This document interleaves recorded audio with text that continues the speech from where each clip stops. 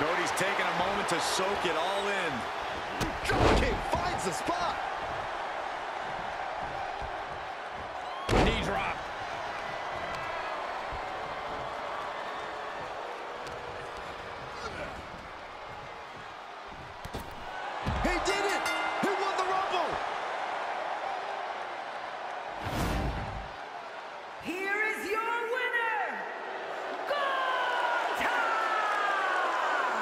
We are now officially on the road to WrestleMania. And you're looking at the superstar who competes in the main event of the showcase of the Immortals.